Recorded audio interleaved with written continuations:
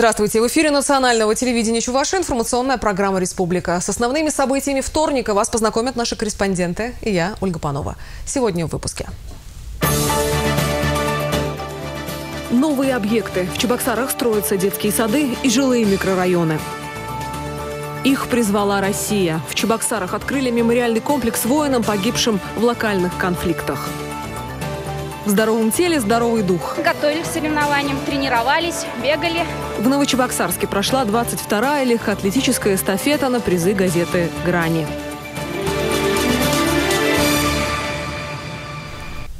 Сегодня глава республики побывал с инспекцией сразу на двух строительных площадках. Кортеж Михаила Игнатьева остановился на территории будущего детского сада и в новом микрорайоне на окраине столицы. Удастся ли возвести данные объекты в срок? Этот вопрос глава региона задавал подрядчикам. Все описывали радужные перспективы. Дмитрий Ковалев продолжит тему. На строительной площадке будущего детского сада пока работ не в проворот. Здание уже возведено, сейчас здесь начали штукатурить стены и прокладывать коммуникации. Двери садика должны распахнуться уже в конце августа. Это крайний срок, возможно, новоселье здесь отметят и еще раньше. Подрядчики отмечают, что проблем при строительстве у них не возникает. Они воплощают в реальность самые смелые планы проектировщиков. К примеру, продумали до мелочей дизайн фасада. Пять блок-секций, а каждый блок-секции свой, свой цвет имеет. Значит, это ну, немножко такое, это такое, такое. То есть э, садик, вот это у нас проектанты были, это классика арт, а Баранова там архитектор. Вот она запроектировала, чтобы он нарядный такой был. На строительство детского сада из бюджета будет выделено более 100 миллионов рублей. Четверть этой суммы подрядчикам направили уже в прошлом году. Здесь будет создано почти 300 мест. Главе республики показывают на проекте своеобразное ноу-хау. Дворовая территория поделена на три части. Малыши и дошколята будут прогуливаться на разных площадках. Вот эта площадка будет уже дошкольная. А это уже площадка будет для, для взрослых более-менее, уже будет. Вот, эти, вот этот, э, как, сама площадка, а, да, еще кроме этой спортивной площадки. Вообще, детский сад на улице Пирогова будет выгодно отличаться от других, хотя бы тем, что расположен он в нескольких метрах от залива. Из окон будет открываться потрясающая картина. Но главное, чтобы детский сад ограниченно вписался в эти пейзажи. Это новый район, центральная часть Чебоксар. И именно ее первым делом оценивают гости города. Подрядчики уверяют, по своей красоте здание ничем не будет уступать ближайшим высоткам. Но думают не только о пейзажах. На территории возведут и индивидуальную котельную.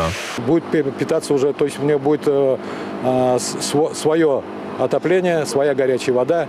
Мы на сегодняшний день уже провели сюда э, сети, это водопроводные сети провели, канализацию и это ливневую канализацию сделали.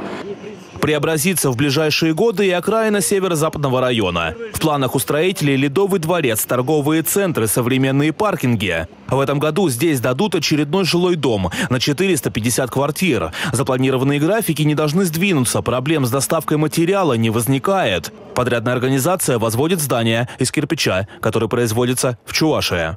Дмитрий Ковалев и Сергей Рябчиков. Республика. Сразу после посещения стройплощадок в Доме правительства состоялось совещание, где подвели итоги строительства за первый квартал 2014 года. Министр строительства Олег Марков сообщил, что в этом году введено в эксплуатацию почти 57 тысяч квадратных метров жилья, что на 3,5% больше, чем за аналогичный период прошлого года. А вот с переселениями граждан из аварийного жилья город столкнулся с рядом проблем.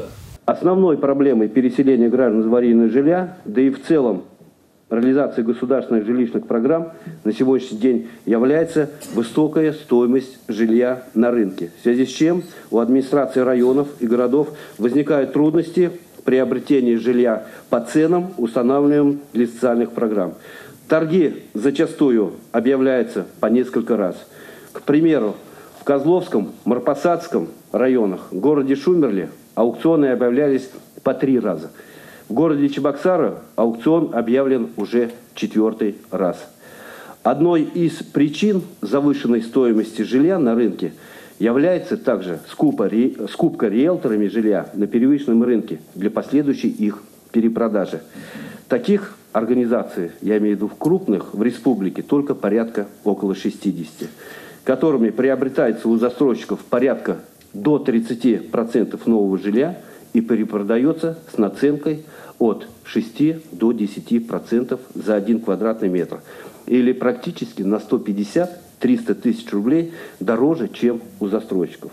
И сейчас администрация города Чебоксар вопрос прорабатывает. Думаю, что вот в ближайшее время обязательно будет аукцион все-таки состоявшийся и будут определены и найдены решения по выходу из сложившейся ситуации. Во время конфликта на Северном Кавказе из Чувашии в этот регион отправились почти 7 тысяч человек. 156 из них остались там навсегда. Сегодня в Парке Победы открыли монумент воинам, погибшим в локальных конфликтах. Мы подвергались обстрелам, но в то же время не прятались, отстреливались. Вот это первое потрясение, когда мне было 18 лет, и я еще, можно сказать, девчонку-то не целовал, а тут меня стреляют. Вот это были мои первые потрясения. Такими же мальчишками, как Павел, были тогда и те, чьи имена теперь высечены на мемориальных досках. Их родные говорят, праздник со слезами на глазах – это не только День Победы. Неоднократно матери тех, кто погиб, сражаясь в горячих точках, обращались с просьбой увековечить память воинов. И вот монумент готов. Случилось так, что мы здесь живые, а наши боевые друзья и ваши дети остались там э, на всю жизнь. Но мы гордимся вами, э, наши родители, что вы воспитали э, таких сыновей, что мы гордимся ими. Не тем, кто не вернулся с войны, а живым, чтобы уроки истории не забылись и не прошли даром. Иначе украинский сценарий, утверждают те, кто пришел сегодня в мемориальный парк. У меня в Симферополе живет сестра. Ей уже 83 года, 63 года там она живет. Там у меня и тетя жили, там все. Там у меня два племянника. Я считаю, что это преступление именно 21 века. Ну так, это вторая хатынь. Потому что сейчас уже говорят о том, что э, наши, которые защищали Россию, э, СССР раньше, они говорят, что мы боялись больше не фашистов, а боялись больше бандеровцев. Пока в соседней стране памятники разрушают, в России будут их открывать. И это тоже поддержка нашему братскому народу, отметил глава республики. Молодое поколение, наши внуки, внучки, наши дети, приходя сюда, видят вписанные фамилии, которые погибли, в их родословие. Это имеет очень значимое воспитательное, духовно-нравственное значение. Вот. Я благодарен всем тем неравнодушным людям, благодарен тем, кто оказывал спонсорскую помощь. Мы делали эти благие дела, и мы будем делать. Поблагодарили живых, почтили память погибших. Самое главное, чтобы никаких имен вписывать больше не пришлось. С этим умыслом место для новых фамилий решили не оставлять. Ольга Пырочкина, Евгений Анисимов, Республика.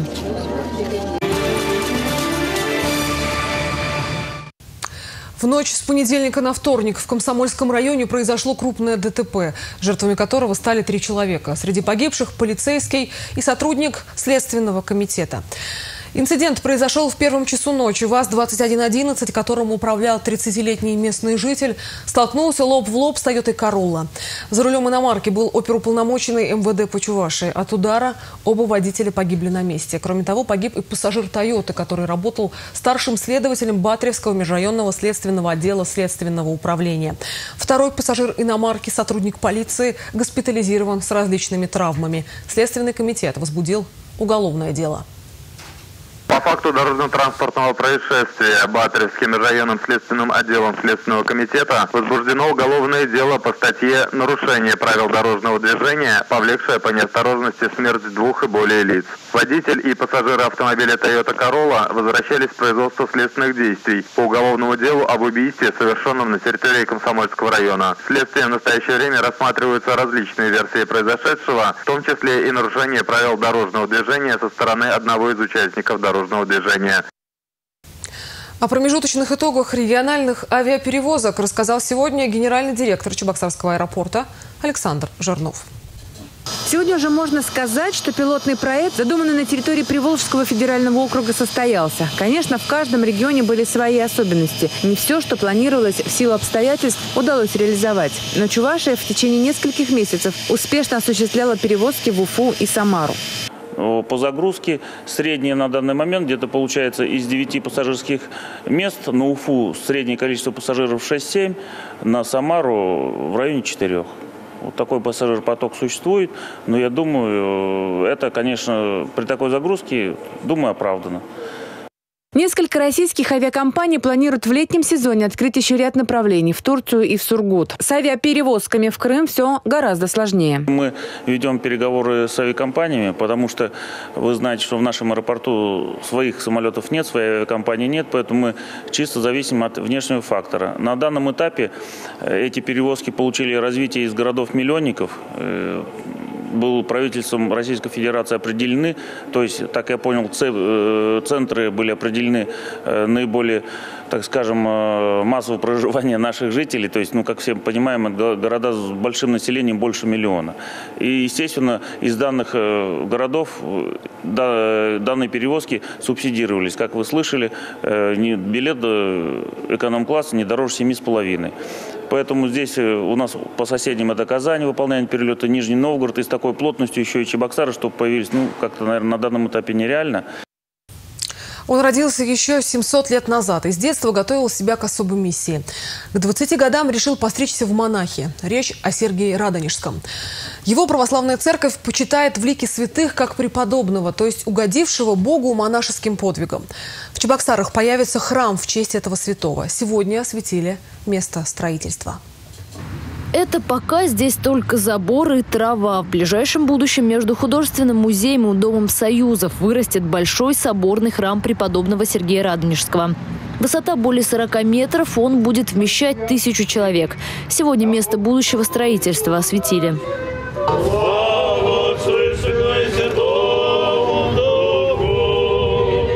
Наша задача, воспитывая молодое поколение, подняв этот храм помня об истории, должны воспитывать молодое поколение духовно-нравственном воспитании, чтобы у них была присущая любовь к своей земле, любовь к своим окружающим, и от этих добрых дел они совершали еще добрые дела. Так называемый нулевой цикл, то есть подготовку площадки и земельные работы, планируется закончить к 2015 году, когда Чувашию посетит патриарх всея Руси Кирилл. Участок под строительство выделил город, а вот с финансированием не все так просто. В бюджете города такой строчки невозможно заложить на строительство храма. Да? Какие-то средства мы, наверное, изыщем, но все-таки я думаю, что строить будем это вот всем миром. Наверняка, скажем, э, церковь тоже сама э, какие-то средства будет вкладывать. Поэтому здесь будут источники финансирования самые разные. Конечно, э, депутаты городского собрания, депутаты госсовета и все неравнодушные люди, я уверен, что помогут. Иными словами, одними молитвами здесь не обойтись. Нужна финансовая поддержка, отметил митрополит Чебоксарский и Чувашский. Ну а первые взносы на строительство народным избранникам и представителям правительства он предложил сделать сразу же. Ольга Пырочкина, Евгения Нисимов, Республика. К другим новостям. Сегодня на Красной площади прошла генеральная репетиция торжественного марша ко Дню Победы. Позади несколько масштабных тренировок. Даже в дождь и холодную погоду они на площади оттачивают все до мелочей за отличие в службе. В строю майор Павлов, Валер Репетиция Парада Победы – возможность еще раз проверить, все ли сделано как надо. Все знают свои места и свою очередь. Именно так приставы за спасателями, военные за полицейскими пройдут по Красной площади 9 мая. Торжественным маршем в День Победы пройдут более тысячи офицеров. Многие из них принимали участие в боевых действиях. Парад как будто экзамен. Здесь важна малейшая деталь. Шаг в шаг, четкое попадание в такт музыки. Кроме того, в этом году парад рассматривают как генеральную репетицию к параду юбилейному мы будем э, пробовать какие-то новшества. Они немножко не то чтобы в секрете, но э, погода мешает, э, авиации здесь немножко будем добавлять. Будем элементы добавлять, но сейчас рано об этом говорить, потому что еще сегодняшняя репетиция, завтрашняя репетиция. И 8 резервный день, возможно, и 8 еще будем заниматься. Во всех школах республики в эти дни проходят уроки мужества. Ветераны приходят к школьникам и рассказывают о Великой войне. Провели такой урок и в школе номер три. Праздник для детей организовали сотрудники регионального управления ФСБ.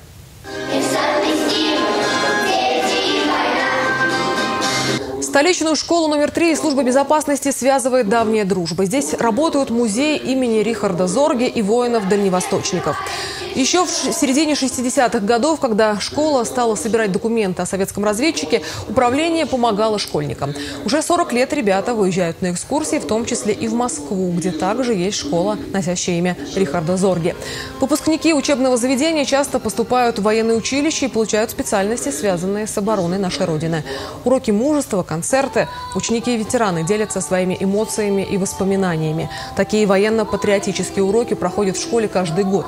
В этом году году встречи со школьниками носят особенный характер с учетом политической ситуации в соседних странах.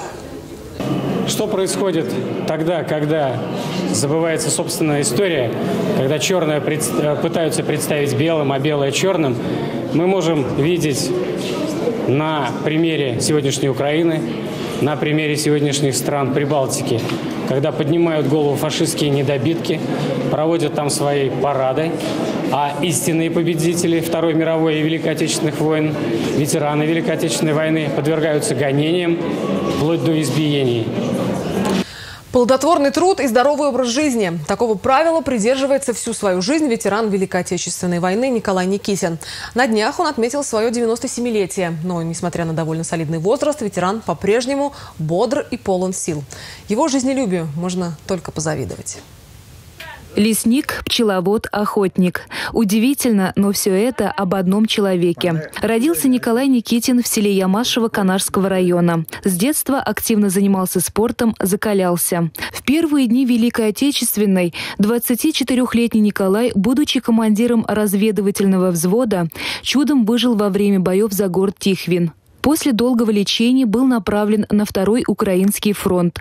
За подвиг в боях на Днепре нашего земляка наградили Орденом Славы Третьей степени. Николай Никитич воевал вплоть до 1945 года, пока не был еще раз тяжело ранен и комиссован из армии воевал, был не один раз ранен. У него до сих пор в голове остаются вот эти осколки немецких э, снарядов.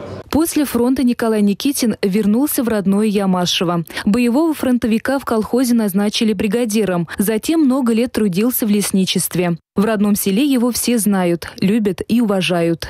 Участвует на мероприятиях, хотя, несмотря на свои 97 лет, он вспоминает, рассказывает, очень, э, ну как, очень э, гостеприимный, э, и к нему ходят соседи ходят, он ими дает советы, какие-то советы, потому что у него жизненный опыт очень большой, и дети, внуки от него без ума. Николай Никитич не любит считать свои года и не устает повторять, что с каждым годом в душе становится только моложе. Не может сидеть на месте, до сих пор помогает вести хозяйство. Ни на минуту не теряет интереса к жизни. Ну а самым важным достижением жизни ветеран считает свою большую и дружную семью. Главная гордость – дети, внуки и правнуки. Олеся Русакова, Сергей Рябчиков, Республика. Пятый год в Чебоксарах проходит конкурс «Национальное достояние». Его участники поют, танцуют, декламируют стихи, играют на музыкальных инструментах. Тему продолжит Мария Шоклева. У конкурса «Национальное достояние» нет ограничений. На одной сцене выступают и малыши, и взрослые артисты. Жюри оценивает даже заочные выступления, присланные по интернету. В этом году среди двух тысяч участников были и жители Таиланда. Главная задача фестиваля – показать разнообразие культур. Поэтому основная номинация конкурса называется «Патриоты отчизны». Национальное достояние – это те дети, которые сегодня живут в России и которые завтра будут э, возглавлять наши страны, наши города, наши республики. Поэтому это достояние – это то, что завтра засверкает яркими искорками, яркими звездами. Сегодня дети здоровы, сегодня дети счастливы от того, что они занимаются искусством и творчеством. Одни из самых юных участников конкурса – ребята из студии «Ветерок».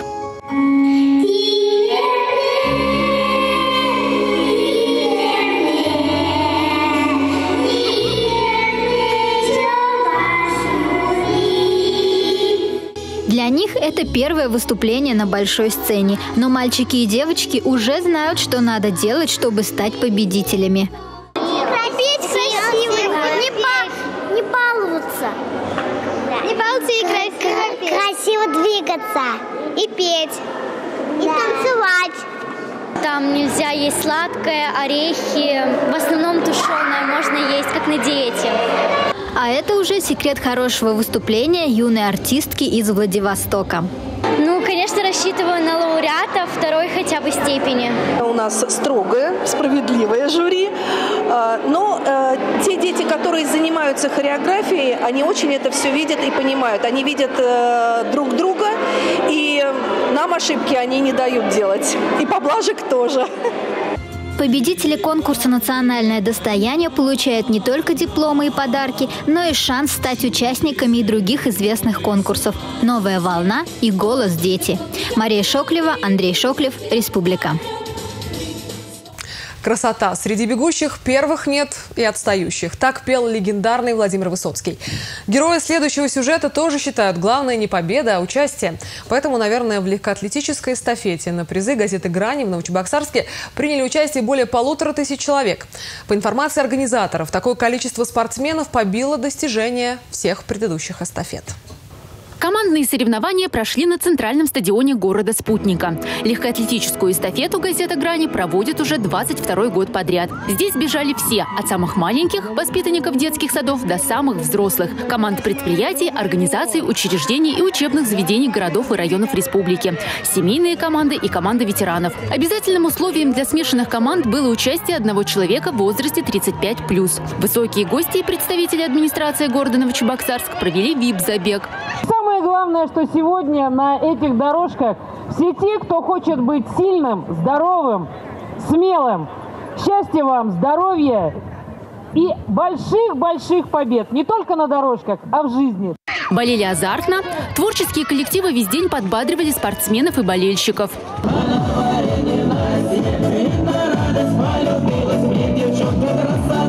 Команда детского сада «Непоседа» Новочебоксарска участвует в эстафете каждый год и всегда показывает хорошие результаты. Конечно, сложно это было в конце. Ветер сегодня очень сильный. Ой, дует прям в лицо. Очень хорошо было бежать в начале, а вот где-то в серединке уже тяжело. А так готовились к соревнованиям, тренировались, бегали.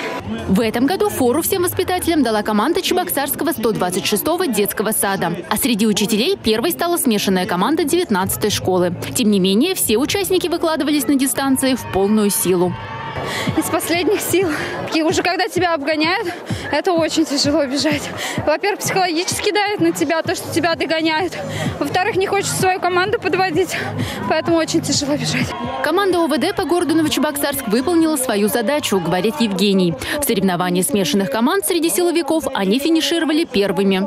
Могли меня, конечно, догнать в конце, но не дал, выиграл. Не мог тут проиграть, потому что все первые были.